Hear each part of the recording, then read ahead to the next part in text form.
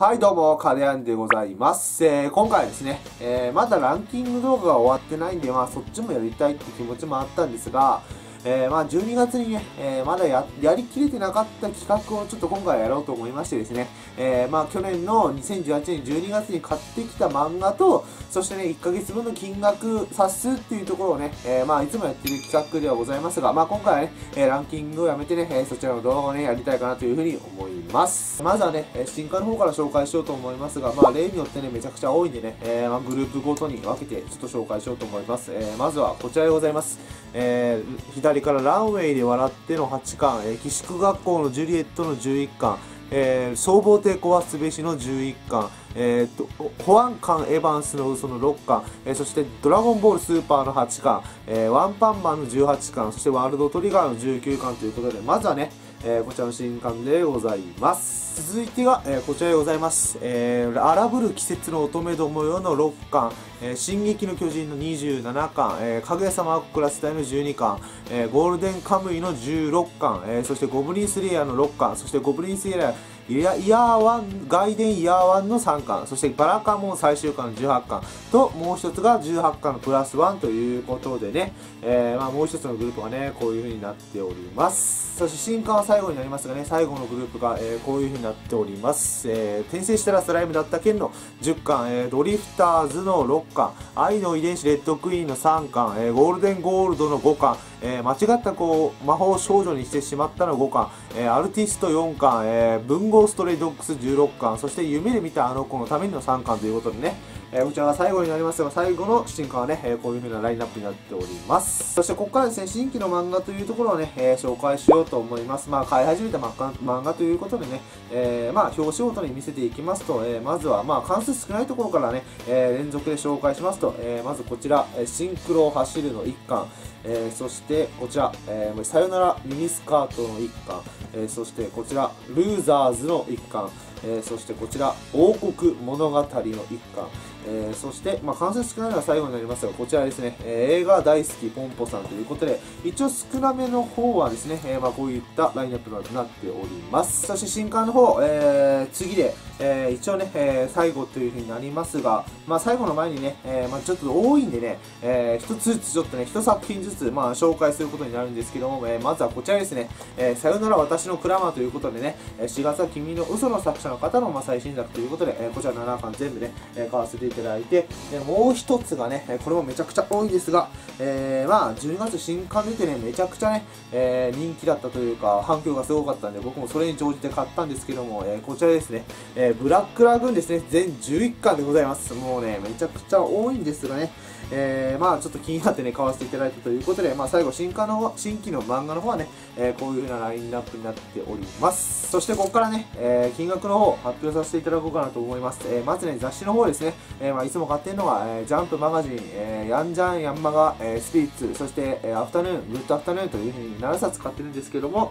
えーまあ月間の方の2つは2つはね、700円ずつということで、まあ、12月はね、えーまあ年越しということもあって、えーまあ合併後もあったんでね、えーまあ3回しか、えー売れない週もあったということで、ちょっとね、えー雑誌の金額はいつもとずれるんですが、えー6790円ということで、えーまあ、雑誌はね、えー全部で6790円という風になりました。そしてコミックだけのね、えー金額と冊数をね、発表しますと、えーまず金額の方がね、えー28,993円ということで、もうちょっとで3万にも届きそうではあったんですがね、えーまあ、28,993円ということでね、えーそして気になる冊数の方が、えー47冊でございます。まあ、これもね、えーまあ多いといえば多いんですけども、なんか新規の漫画が、まあ、24冊で、新刊が23冊なんで、まあ半々なんですよね。新刊が予想以上に多かったというか、僕はあんまそういう実感なかったんですけど、まあ新規の方はね、えーブラックラグーンとかクラマーとかあるんで、そんぐらいは、行くわよ、行くわな、行くわなというふうに思ったんですが、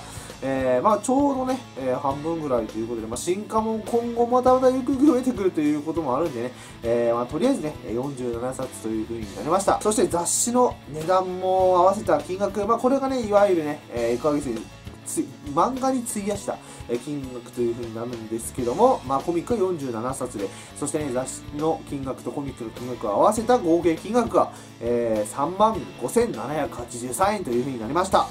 いやー、まあね、えー、こんだけいつも使ってるという風な結果でね、えー、まあ雑誌は多分ね、皆さんそんなに買わないとは思うんですけども、まあそれでもね、えー、まあコミックだけでも3万近くということなんで、まあこれがほぼほぼ僕のベースみたいになると思うんですけども、4万はね、どうなるかはね、今後もわかりませんが、まあ12月の最後のね、えー、まあ2018年最後1ヶ月の金額と冊数がね、47冊で、えー、3万5783円という風になりました。はい、ということでね、今回はね、えー、まあ12月ちょっとね、えー、やり忘れてた企画ということでね、えー、2018年12月に買ってきた漫画の、えー、漫画とですね、金額と冊数というところをね、えー、紹介したんですが、えー、まあ今回出てるララグーンとかね、クラマーとか、まあ、ポンポさんとかが、今やってるね、ランキングの、えー、まあ、対象になる作品っていうことなんですよね。えー、まあそこら辺がね、えー、まあその11月とか12月とかも僕もね、新規でっていう風に分けて紹介してたと思うんですけども、そちらの作品だけでね、えー、ランキングを形成してるんで、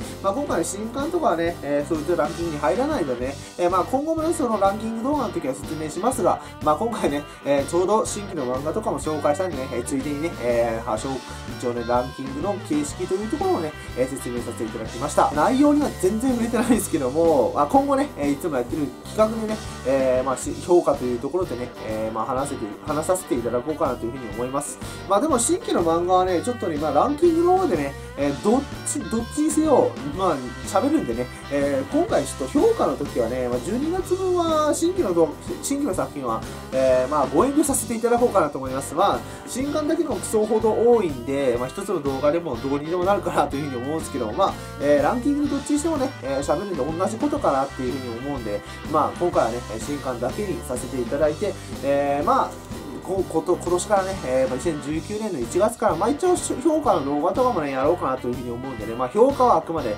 点数でしかなくて、まあ、僕の、まあ、レビューというか感想みたいなところでね、えー、まあ、紹介っていうふうに、内容について喋りたいっていう感覚でね、えー、またやらせていただこうかなというふうに思いますんで、えー、まあ、今年もですね、えー、また1月の方のね、えー、まあ、金額差数など、まあ、こういうふうな買ってきたというだけの報告みたいな動画でしかないんですがね、えー、まあ、そういうふうに何かの参考になればね、えー、こういう動画もね、えまた今年もね、ずっとやっていこうかなというふうに思います。本日もご視聴誠にありがとうございました。チャンネル登録、高評価、Twitter のフォローの方もどうぞよろしくお願いいたします。それでは、バーイ